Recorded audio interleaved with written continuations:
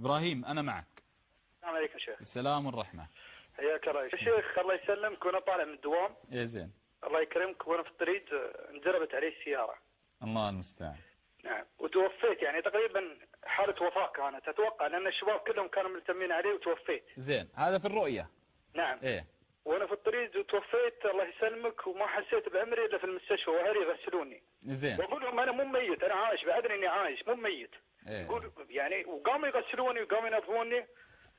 عقبها ما حسيت بعمري إلا داخل المسجد. إيه. يصلون. يصلون جنازة. علي.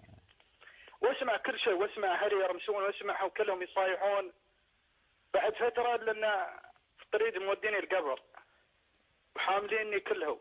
يعني أشوف أهلي اشوفهم أنا في الحلم يعني يعني مو اشوفهم هم يشلوني أبوي وأخوي وخالي وعمومتي كلهم يشلوني شوية أدخل القبر.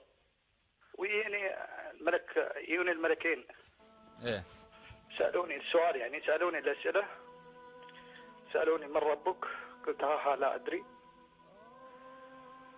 ما دينك؟ قلت ها ها لا أدري. ضربوني بالمزربة. ما حسيت بعمري إلا تحت و- وقمت من النوم واستغفرت الله سبحانه وتعالى وقمت صليت. لما. استيقظت لما استيقظت ماذا كان شعورك؟ بالخوف. زين لمثل هذا اليوم فأعد. علم المقصود؟ مثل لمثل هذا اليوم استعد.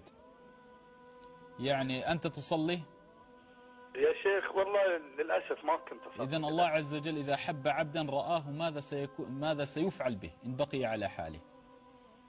يعني أما أعطيك مثال أخ إبراهيم خلك تفضل. عادي أسأل ما في مشكلة ولا تستحي. تفضل يا شيخ تفضل زين. الحين الآن أنت لو على الحقيقة هذا ما كان منام وكنت على الحقيقة ميتا وفعل بك هذا ماذا سترجو من ربك؟ الرحمة. وأن تعود للدنيا صح؟ نعم. ولعلي أعمل صالحا صح؟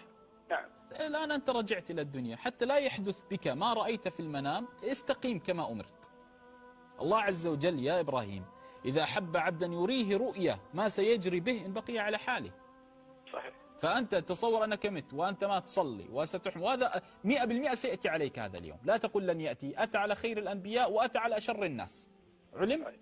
فأنت استعد لمثل هذا اليوم. أعد لمثل هذا اليوم يا أخي. ما تسوى الد- الدنيا كلها. لن ينفعك أحد. إياك أن تكن نهايتك مثل هذه مثل ما رأيت. علم؟ آمين صلي واستقم وأصلح نفسك ووادع نفسك وحرض النفس على الصلاح لأن هذه النفس ما تشبع من الدنيا ترى. أكيد. علم؟ وغير الصحبة.